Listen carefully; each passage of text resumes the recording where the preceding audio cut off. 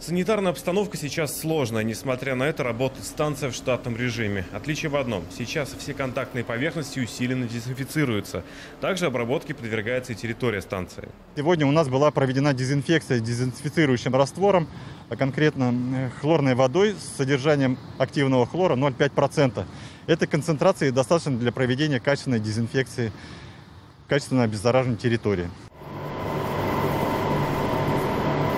Усиленные меры принимаются и на рабочих местах. Все сотрудники обеспечены средствами индивидуальной защиты. 16 огромных резервуаров. Все это, правильно, фильтры.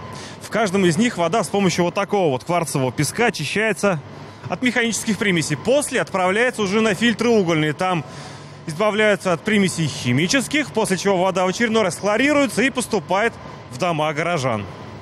Непрерывную работу станции обеспечивают порядка 130 сотрудников. Сейчас объект под усиленной охраной. Режим работы у нас не поменялся. Все также работаем без перерывов в штатном режиме. Очищаем воду. Здесь у нас проходит очистка воды через кварцевый песок. Ну, чтобы люди пили вкусную, чистую воду.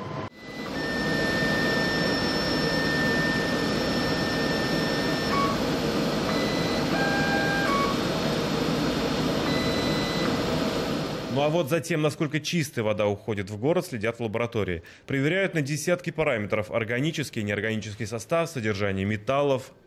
Ежемесячно питьевая вода проходит контроль по 70 показателям качества. Каждую смену отслеживается 20 из них, в частности микробиологические показатели, содержание хлора, а также запах, вкус, цветность и мутность. Станция продолжает работать в штатном режиме и даже в режиме всеобщей самоизоляции город водой обеспечен, причем запасом. Кирилл Давкаев, Рафаэль Ракипов, Новости НТР.